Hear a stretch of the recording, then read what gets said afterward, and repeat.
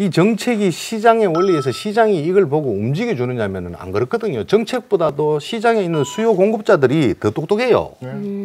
미리 하면 미리 다 알고 있는 거예요. 그래서 앞서가기 때문에 이게 안 먹힌다는 얘기가 걱정된다는 거기에도 얘기죠. 정책에 대해서 대비를 또 하는군요. 역대 부동산 정책은 우리나라에서 성공한 적이 성공한 없죠. 적이 없어요. 없어요. 전례가 그리고 없어요. 이번 정부에도 계속 그렇습니다. 그렇습니다. 미국 주택 시장이 폭락했던 것처럼 그렇게 시장이 폭락하지 않는 이상은 이게 우리나라 부동산 시장이 교정될 수 있는 가능성은 없다고 봐야 되는 거네요. 그렇죠.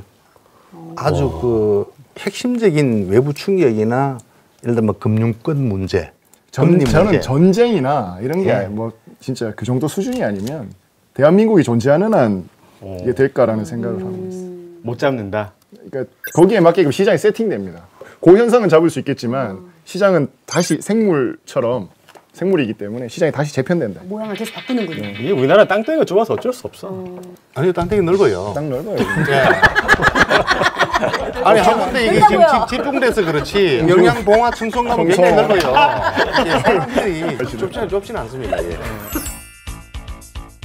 부동산 분양권 매매 제한 요 정책이 시행이 되잖아요. 이거는 그래도 조금 실질적인 도움이 되지 않을까 싶은데. 수도권과 지방 그리고 광역시 등 민간 택지에서 건설 공급되는 주택의 전매 제한 기, 기간이 기존 6개월에서 이제는 소유권 이전의 등기 시까지로 강화되었습니다. 그러면 이제 기존의 분양권을 받은 그 시기로부터 6개월뿐만이 아니라 잔금을 치르고 소유권 이전 등기를 하는 때까지 전매를 할 수 없도록 돼서 줍줍 쪽이라든지 프리미엄을 받고 분양권을 전매하는 것을 제한할 수 있게 되었죠.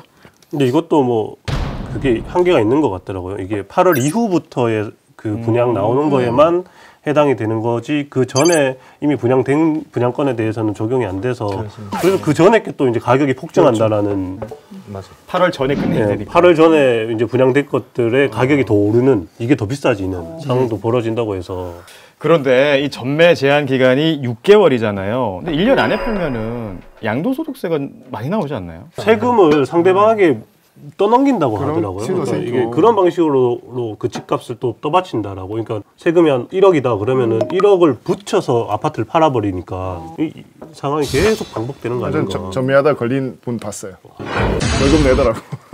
세금 많이 내도 무조건 남는 장사니까 무조건 너도 나도 다 이렇게 청량을 하시는 거네요. 어떤 규제를 만들어서 제한을 하든 세금을 때리든 시장은 거기에 맞춰서 더 빠르게 변화하고 있어요. 뛰- 뛰는 놈 위에 나는 놈이 있는 거니. 네. 예. 박사님이 이 부동산 정책을 담당하신다면 뭘, 뭐, 맨 먼저 뭘 해야 돼요? 아무것도 안 하는 게 집값을 안 오르게 하는 거예요? 정답입니다. 와, 아 진짜요? 그 부동산 시장을 잡으려고 잡다 보면은 항상 새로운 기술들이 나오거든요. 예. 백신이 나오면 또 그 백신을 능가하는 바이러스가 나오듯이 네. 부동산 시장을 정부 정책이 계속해서 지금 따라가고 있지 않습니까? 음. 예. 그러니까 정책이 이미 시장은 다 받아들일 준비가 되어 있다는 뜻이죠. 그래서 실제로 아무것도 하지 말고 기다렸다가 정말로 문제가 있는 부분은 탁 집어서 어떤 뭐 이- 예를 들면은 저소득층 또는 뭐 차상위층한테 임대주택을 공급한다 그러면은 조사를 해가지고 직접적으로 뭐 10만 가구를 공급해서 이 사람들 하겠다. 이렇게만 해버리면은 나머지 시장은 민간 주택 시장은 알아서 조정할 수 있도록 놔두는 게 어떻게 보면은 정책의 효율성이 더 커질 수 있다. 이렇게 봅니다. 저렇게 하면 표가 안 돼. 아, 또- 우리 동네 개발시켜 준다고 하고 좋은 거 들어간다고 네, 해야 그- 그, 그- 사람을 지지해 주거든. 근데 진짜 반전이네요. 가만히 놔두면은 예. 알아서 잡힌다. 아, 근데 이게 좀 무서운 게 가만히 둔다라는 게 시장에 그대로 맡겨둔다라는 건데 그냥 아무런 규제 없이 둬버리면 진짜 아니요. 기본적인 규제는 두되 자꾸 손을 대지 말라는 얘기입니다. 지금 현재 있는 상황에서 새로운 정책을 만들지 새로운 말라. 정책을 자꾸 손을 대거나 또 분양가 상한제 폐지했다가 놔뒀다가 폐지했다가 다시 또 뭐 규제했다가 이런 속은 지금 지금 하지 말라는 얘기죠. 긁어 부스름 그렇죠. 마라 예, 이런 취지신 것 맞습니다. 같아요. 예. 나가려면 애초에 한 두 발짝 먼저 나가 있어라 뭐 이런 거. 그렇습니다. 근데 그게 어렵습니다. 네, 알았어요. 예. 그런 순간 난리 납니다. 그렇지. 아. 그러니까 난리 나는 정책 하나 내야 되는. 그러니까 그 책임을 지고서라도 누군가가 해야 되는 거예요.